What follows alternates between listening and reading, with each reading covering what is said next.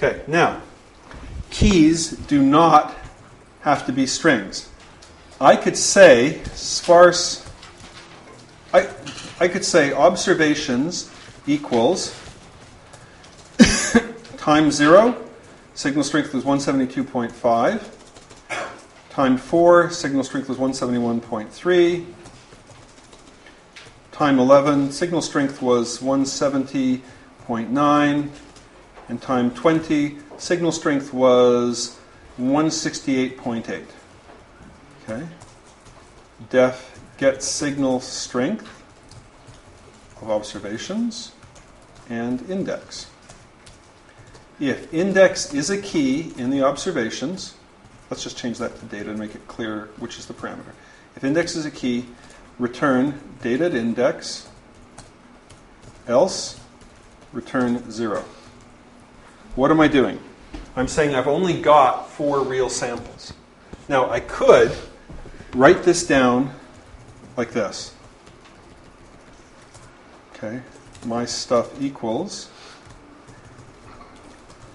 location 0 has a value, location 1 is 0, location 2 is 0, location 3 is 0, location 4 was 171.3, 5, 6, 7, 8, 9, 10, 11,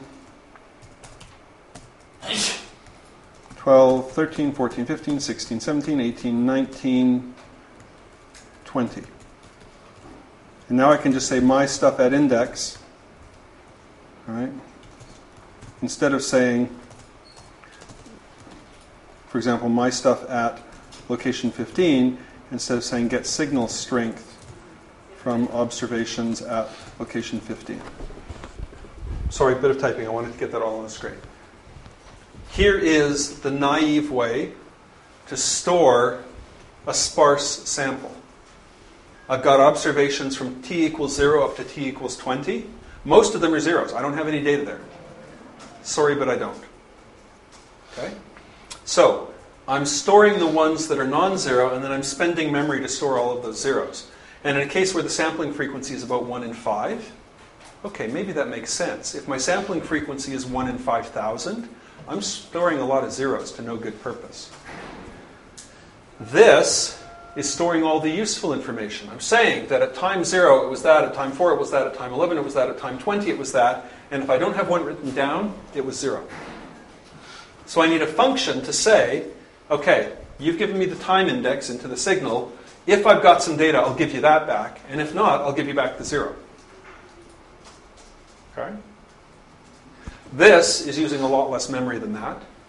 I mean, dictionaries are more expensive than lists, but I've got 4 times 2 is 8 entries here, I've got 20 entries here. The overhead on the dictionary is not a factor of 2.5. It's about a factor of 10% over a list 10 to 12. Okay?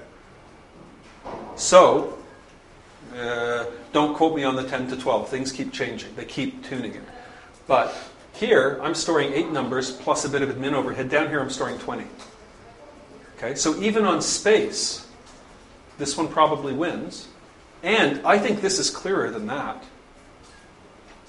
I think this tells you where I've got non zero values, and it's immediately obvious what the time indexes of the non zero values are, because I've written them down. Here, if you're reading this, what's the time index of the 170.9? 1, 2, 3, 4, 5, 6, 7.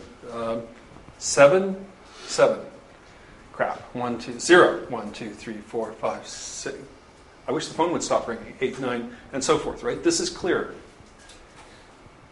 Okay. So here's another good reason to use it. When you've got sparsely sampled data, when you've only got information in a few places, store it this way. Think about a phone book. There are a lot of possible arrangements of the characters in the Latin alphabet, but you probably don't see a phone book entry for AQXLMPT. Nobody has that name. We store the names and the phone numbers because the set of all names is actually pretty sparse compared to the set of all possible permutations of the letters in the alphabet. You'll come up with the same thing over and over again when you're working with real data sets. Store the key and the value because the key isn't immediately obvious. Right? and because you've only got a few values. Okay? So let's have a few, let's have a look at a few other things we can do here.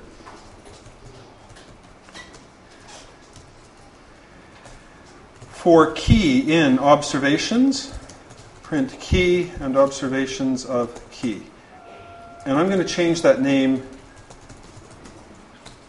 excuse me, to signal to save myself some typing. Signal equals that. For key and signal, print key and signal of key.